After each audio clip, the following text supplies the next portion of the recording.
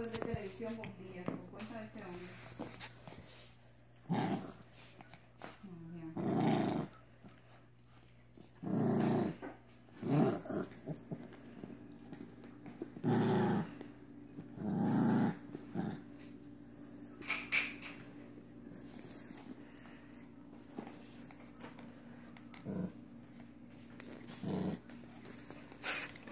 She growls whenever I touch it.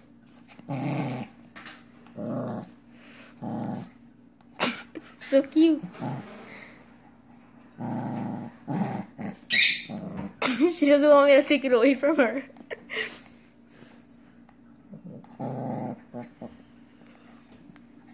I feel so bad whenever I do this. It's like, if I do this, I just feel so bad to take away her favorite toy. It's like, no, I don't want to take it away from me. She's my cute little doggy.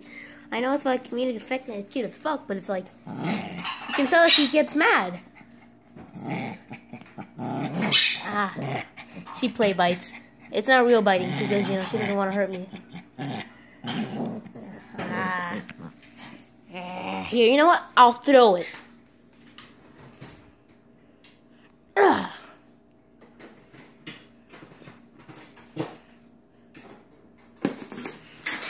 I threw it right in front of her. Just boom. How's that?